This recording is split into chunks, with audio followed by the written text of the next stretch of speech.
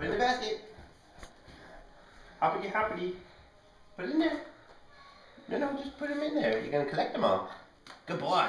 Get the other ones. You can go hide the others in the next room. Then. Yeah. Good job. wow.